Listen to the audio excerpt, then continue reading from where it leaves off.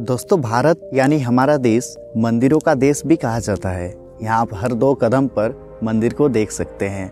हर मंदिर की अपनी ही कहानी, प्राथमिकता और अलग ही इतिहास है, जो हर श्रद्धालुओं को अपनी ओर आकर्षित करता है। कोई अमीर हो या गरीब, हर कोई भगवान के शरण में अपने शीर्ष नवाता है और उनका आशीर्वाद लेता है। दोस्तों, आज हम आपको ऐसे ही एक मंदिर के बारे में बताने जा रहे हैं, जहाँ खुद पूर्व कैप्टन कुल यानी महेंद्र सिंह धोनी अपना सिर झुकाते हैं। उनका मानना है कि अगर वो आज जो कुछ भी है तो माँ देवड़ी के आशीर्वाद से ही है।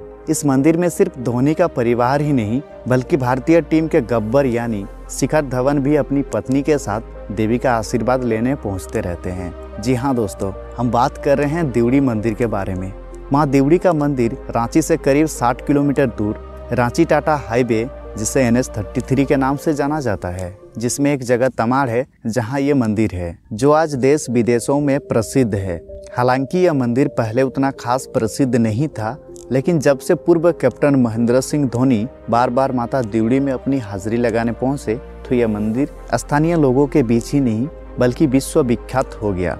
माँ देवड़ी के मंदिर में देवी काली की मूर्ति है, जो करीब साढ़े तीन फुट ऊँची देवी सोलह भुजाओं वाली है। इस मंदिर की स्थापना के बारे में बताया जाता है कि इस मंदिर की स्थापना पूर्व मध्यकाल में तकरीबन तेरह सौ ईस्वी में हुआ। सिंहभूम के मुंडा राजा केरा ने युद्ध में परास्त होकर लौटते समय की थी। कहा जाता है कि देवी ने सपने में आकर राजा केरा को मंदिर स्थापना करने का आदेश दिया था। मंदिर स्थापना होते ही राजा को उनका राज्य दोबारा प्राप्त हो गया था। इस मंदिर को आदिवासी और हिंदू संस्कृति का संगम भी कहा जाता है। तो दोस्तों, ये थे दिवड़ी मंदिर से जुड़े कुछ रहस्यमय बातें। आपको ये वीडियो कैसी लगी, हमें कमेंट करके ज़रूर बताएँ।